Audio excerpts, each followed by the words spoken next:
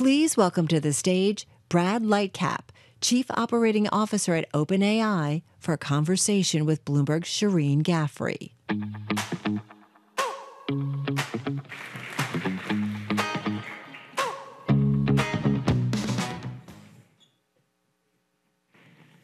Hello, everyone. Today, we're joined on stage by someone who I have called Sam Altman's.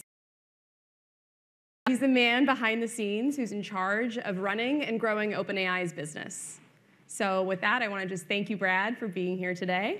Thank you for having me. Yeah, absolutely. Um, we also will have a poll up for the audience. I want you all to please vote on that, and we'll hopefully have some time to come back to it.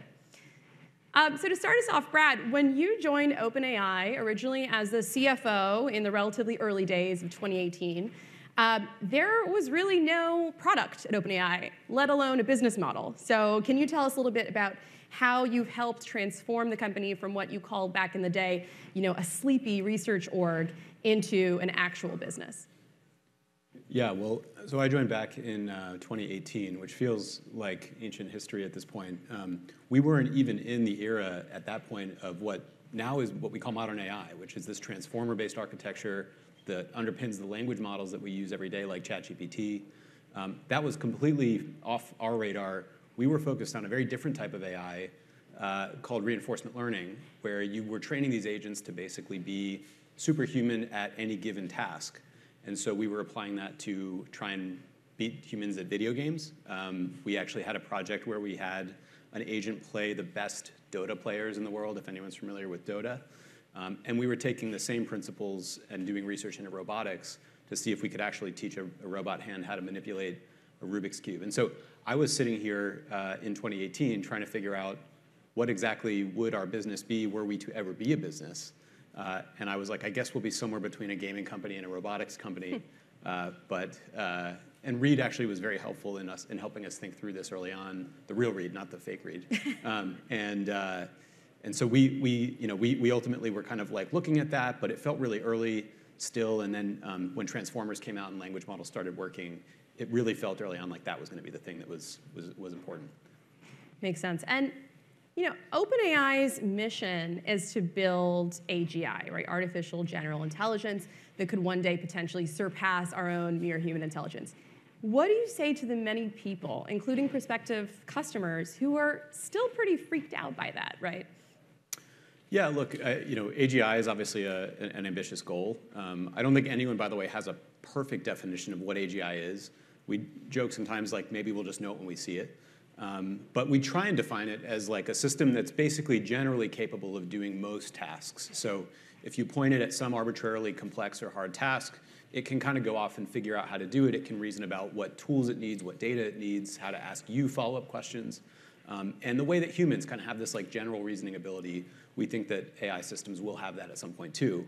Um, and it is scary, right? It is, you know, having the, the idea that you'd have a system that has some level of agency and autonomy out in the world that's able to make decisions and able to use tools and access the internet and write code, um, that is a really, really big, scary thing. And so when we formed OpenAI, we really formed it as this company that I think we wanted to have uh, uh, really be this very mission-oriented company where the ideas of, safety and broad benefit were very core to how we operated. We tried to come up with a structure that really reflected that actually at its core so that we didn't have to put um, things, uh, you know, prioritize uh, things that we thought would be unsafe ahead of things that would be safe. Um, and so we try our best to understand how people use the technology, deploy it at early scale. So knowing how people use a system like GPT-4 actually does help us think about how the next thing might be used. And we can, you know, refine our safety systems and techniques. Um, and I think if we take that iterative approach uh, and are able to have a kind of global conversation with people about what they want this technology to do, uh, both in terms of you know, the new things, but also the, areas where it needs to be safeguarded. Uh, we'll get there and I think be very happy with the outcome. So let's start with a topic that's very hot on everyone's minds. When can we expect the next release? Will we be seeing GPT-5 soon? What will it look like? That's my time. Thanks so much. Uh, uh, no, so, or, or, tell us a direction. what, what, do you? You've said that you know. Uh, yeah. Sam has said yeah. that, that AI now is laughably bad compared to what it will be. Yep. Um, you know, or sorry, he said it was the dumbest AI, AI model people will ever have to use That's is GPT-4. Yep. You have said that a, today's AI will look laughably bad in a year, and then AI will be used for more complex work. So, what does that? Walk me through how this AI is going to get even smarter, more complex, better. Yeah. So um, look, we're, think the systems are going to get better.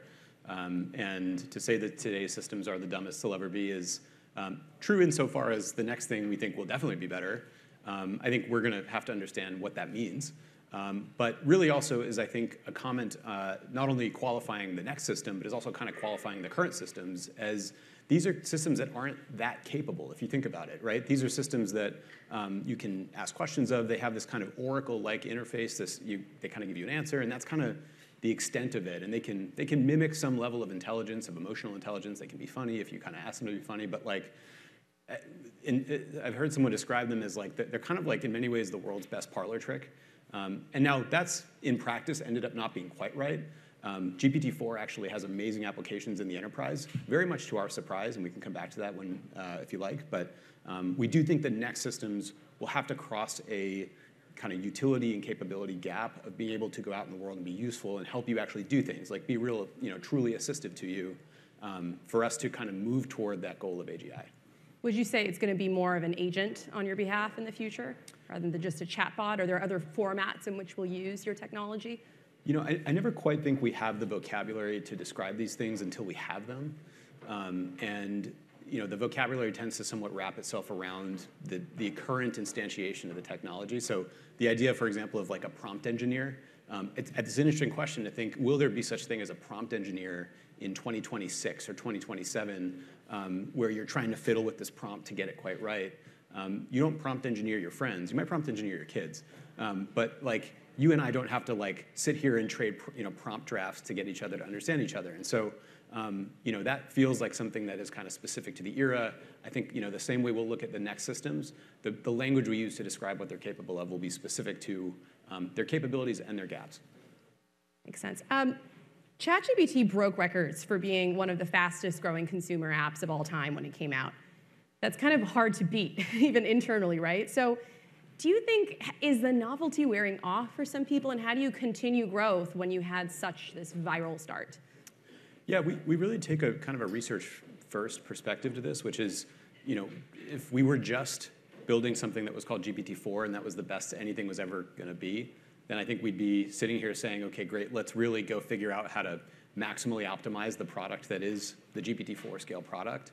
Um, we care a lot more about learning and how people use the technology, one of the exercises we tried to do with ChatGPT early on was like we tried to, in classic like you know business operations uh, style, we tried to like ring fence all the use cases and understand like okay, is there like one common use case that we see that we've identified where we can be like okay, great, we, that'll inform kind of the next version of the product that we build because we'll make it better at that thing. And the like number of people that we talk to who are like, I don't have a use case like I use it like in one second to help me like plan my kid's birthday party, and the next second I use it to like help me write code, and the next second I use it to like help my you know elderly parents like navigate their you know their healthcare. Um, you have this just diversity of use cases that I think is uh, it makes it hard really to know um, how to improve it other than to just make the model smarter and make it better. Right, and so you've been growing the enterprise business um, a lot, and I know there are some really exciting applications of it on the enterprise side. Um, you know, Moderna was, is a recent kind of announcement that you've made as a customer. We can talk a little bit more about that, but I also just want to, you know, get to there were a lot of early hopes and promises around the potential of AI when we saw this leap with, with uh, ChatGPT. I think it's also fair to say that while there's a lot of promise for AI, in the past year and a half since ChatGPT came out, we haven't seen it drastically reshape our economy or most people's day to day jobs just yet. Um, what do you say to those who are skeptical about whether AI is going to be as impactful as maybe some have hyped it out to be? Like, damn, like we have a year to reshape the economy. It's a tall, a tall order. TikTok. Um, no, I mean, uh, so I said earlier, the, the enterprise adoption um, and the utility that these tools have in the enterprise has really shocked us. Um, uh, think about that comment. Um, we, uh, we, we think that there is um, an amazing opportunity, even if we went home and OpenAI kind of just like decided we were done with what we do. Um, what as a, as a kind of a student of history, a student of technology, I'm fairly confident at this point that there'd be this like 10 to 20 year diffusion period through the economy of just GPT-4 level technology. And at some point we'll have a better system and we'll have to kind of shuttle everyone over to this next thing and then be figuring out how to incorporate that. Um, and so uh, we're really encouraged by that. I think the thing we study is, you know, A, how do these systems really make differences um, in businesses and, uh, help businesses uh, better understand their customers, create more personalized relationships with their users, um, allow them to create new product experiences, allow them to actually do things with their data that they couldn't otherwise do. Um, these are all examples of ways that people are using this version of the technology. And so, you know, our job really, as we see it, is I tell our team, we're kind of these like Sherpas, basically, of kind of helping people get from like what is it, what's possible today, and, what's what's not possible today, to what's possible tomorrow, and what might be possible tomorrow that's not possible today. You um, have been leading partnerships, right, at OpenAI with their companies, and that's a really interesting part of your job because a big sector that you're partnering with right now is media. And um, you know, most recently, you've done some deals with the Financial Times, Dotdash Meredith, which is owned by IAC, and you're talking to dozens of other publications, right, about how can uh, media sort of partner, integrate ChatGPT um, into the product and vice versa, and license, right, that content. How many more deals can we expect? Should I be asking my colleagues at uh, the business side of Bloomberg if they're working on a, a deal too? I mean, what, I, it's a joke, but you know, like, where do you see, you know, how, how many publishers do you eventually see being part of the, the ChatGPT ecosystem? Yeah, um, so we think that like this technology, A, uh, has amazing applications in that, in that field. And so uh, if you kind of just boil it down to like first principles, the, the business of publishing is really the business of communicating information to an audience um, and allowing that audience to engage with a subject matter that they care about in a way that satisfies the thing that they want to or should know about that thing. And you know, when you kind of say it like that, almost in kind of plain language like that, um, you realize actually that like these AI systems are actually almost tailor-made for being additive to that experience. How do you better understand a subject matter? How do you enhance a journalist's ability to report on something? How do you give people more access to data and being able to, to, to, um, engage with data? Like we live in this super data-driven world.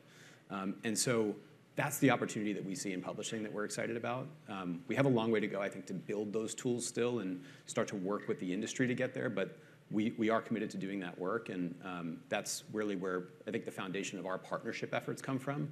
Um, and then also being able to just bring what is source of truth information into the ChatGPT experience for people.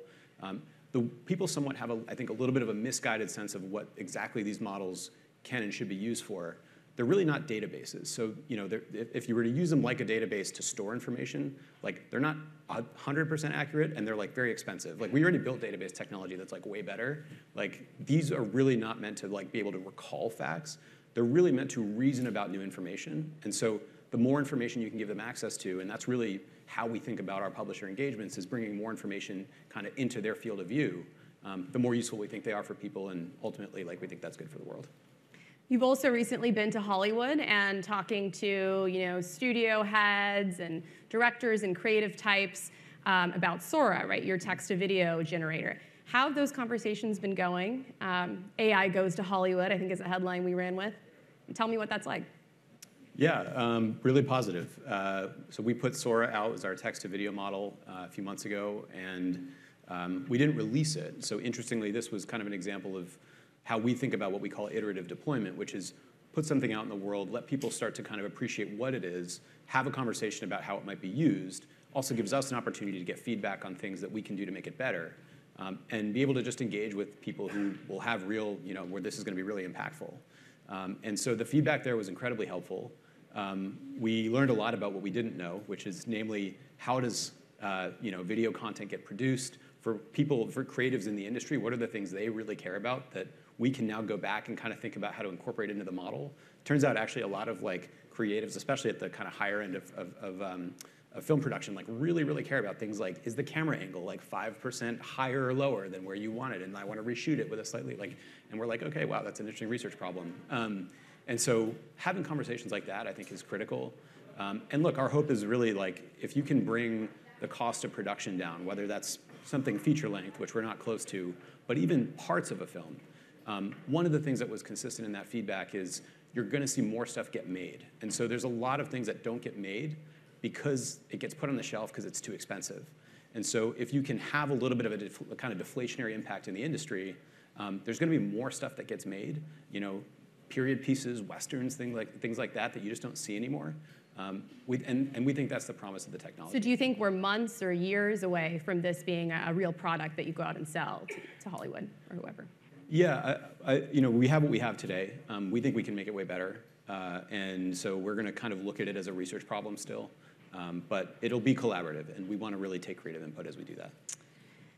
Speaking of Sora, there was a lot of conversation, as I'm sure you've seen, about um, you know whether what training data was used to train the model. Uh, can you say and clear out once and for all whether Sora was trained on YouTube data? Yeah, I mean, look, the conversation around data is really important. Um, we obviously like need to know kind of where data comes from. We just put out a post this week actually about this exact topic, which is basically that there needs to be like a content ID system for AI that lets creators understand as they create stuff where it's going, um, who's training on it, uh, being able to opt in and out of training, being able to opt in and out of use.